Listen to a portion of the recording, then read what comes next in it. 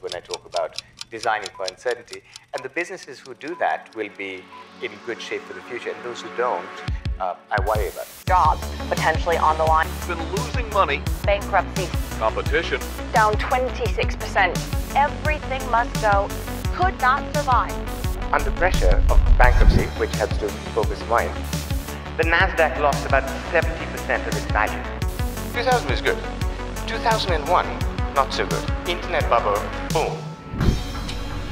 How do you plan for uncertainty if you don't know what's going around the corner? First thing to do is to is to focus on the unknowns. So rather than look at what you already know, think about what are the questions. So it's asking better questions. It's about attracting people who are comfortable with uncertainty in a dynamic environment. There's so many risks in this game, you know, so much that can go wrong. So much just, just doesn't play out as you imagine. And everyone we had spoken to said, it's impossible. You cannot identify music with 10 or 15 seconds from millions of songs over the microphone of a mobile phone. It cannot be done. How great is Shazam? Shazam is a gift. Yeah, game changer. Game changer.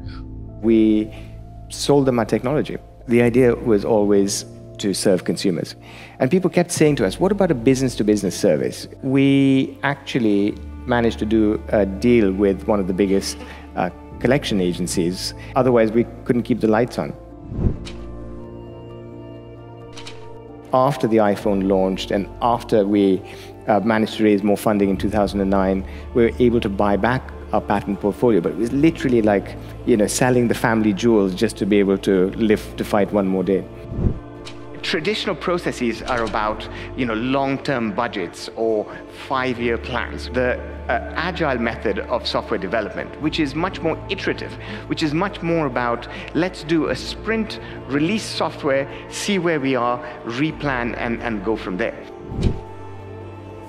rather than trying to create long-term plans which are not based on evidence or reality, to actually build flexibility and adaptability into one's processes. And I call it designing for uncertainty. So embracing this concept that we cannot achieve predictability, even though as human beings we would like to. Embrace the uncertainty. The more stupid the question, the better the insight which will come back, the smarter we'll get quicker. And I think that in 10 or 15 years from now, the companies who have practiced fluidity will be in a much better position to thrive, and those who haven't will be suffering. So, not having a traditional sort of hierarchy, but squads and teams who can solve a problem and then move on. So, yes, I know it's easier said than done, but that's what I think of when I talk about designing for uncertainty. And the businesses who do that will be in good shape for the future, and those who don't, uh, I worry about.